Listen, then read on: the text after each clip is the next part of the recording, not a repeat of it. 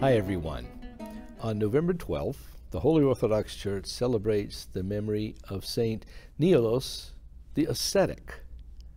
Now, many might have heard of him, and we'll get to that in just a second, but suffice it to say for now that he was living in the late third century in Constantinople.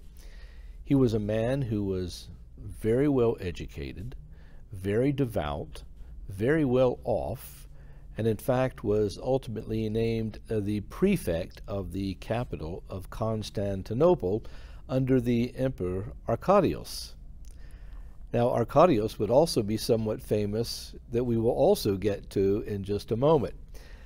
But in the meantime, Neilos was someone who so greatly desired the spiritual life that he found that his office of prefect was getting in the way of his achieving further deepening of his relationship with God. Now, Neilos was also married. He had a son, Theodulus, and also a daughter. Well, he decided, with his wife's consent, that they would both retire to monasteries, that they would go into the Egyptian desert, and that they would divide up the children. The boy went with Neilos, and the girl went with his wife. She stayed there with her daughter, while Neilos and his son Theodulus instead went to the Sinai desert. Now, at that time, there were thousands of uh, monastics around Mount Sinai. It was very, very well populated. And this is the place that Neilos decided to reside with his son, and they spent many, many hours every day enjoying only a very sparse diet of vegetables and studying the scriptures, attending services, and engaging in other very sacred and spiritual activities.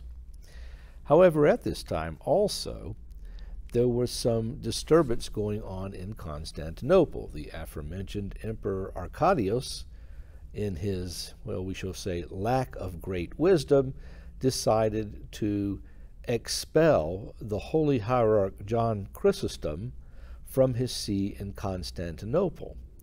Now, Neilos was also someone who studied with St. John Chrysostom, and so this affected him greatly.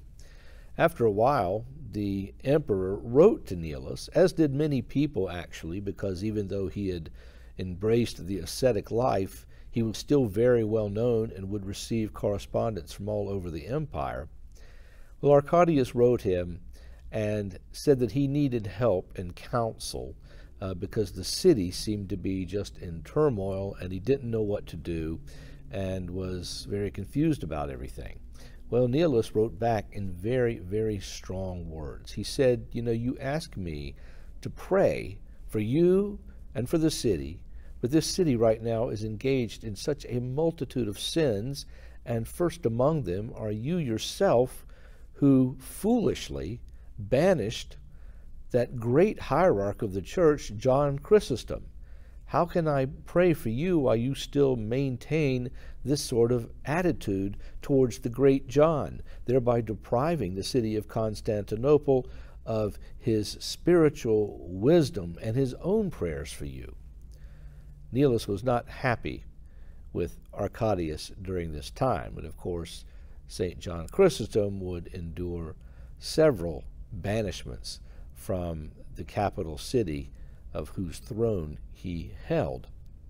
Well, after a while, in residing near the Sinai desert, there was a number of robberies and kidnappings and things like this that were taking place, many uh, of whom were slaughtered. In fact, on January 14th, we actually commemorate some of these people. And Neilos was saddened to hear that his son Theodulus was one of the ones that had been captured and taken away.